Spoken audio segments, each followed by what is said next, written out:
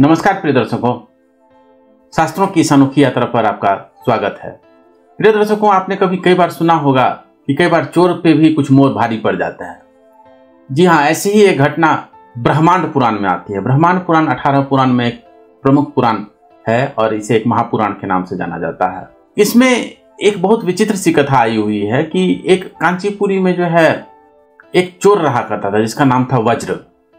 वह चोरी किया करता था उसका जैसा नाम था वैसा ही हृदय था, क्योंकि चोरी करने के लिए हृदय को बहुत वज्र जैसा कठोर बनाना पड़ता है। आदमी को इस बात को इग्नोर करना पड़ता है कि सामने वाले को इस चोरी से कितना कष्ट पहुंचेगा।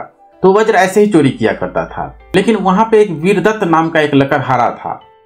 तो उसने एक बार उस चोर को चोरी करते हुए देख लिया और देख लिया कि वो कहाँ जो है अपने सामान को छिपा रहा है।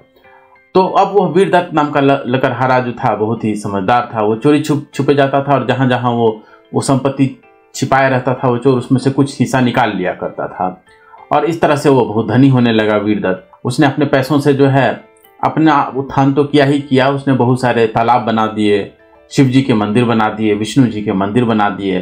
तो इस तरह से उसने समाज पर भी बहुत उपकार किया। इसे धीरे धीरे उसकी ख्याति जो है बहुत ज़्यादा फैल गई।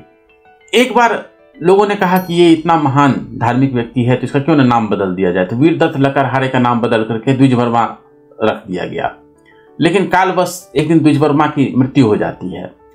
तो यमदूत आते हैं उसके प्राण लेने के लिए, लेकिन वहीं पे जो है शिव और विष्णु जी के दूत भी आ जाते हैं। वो कहते हैं यमदूतों को कि नहीं, आप ऐसे नहीं कर सकते, इनको नहीं ले जा सकते। इन्होंने शिव और विष्णु के बहुत सारे मंदिर बनाए हैं। तो बहुत विवाद होने लगता है कि क्या हो। तो वहाँ से नारद जी गुजर रहे होते हैं। नारद जी बोलते हैं कि इसने बहुत सारे शुभ काम किए हैं, लेकिन अंततः है तो वह चोरी का माल ही। तो इसलिए जो है दोनों का जो है फल मिलना चाहिए।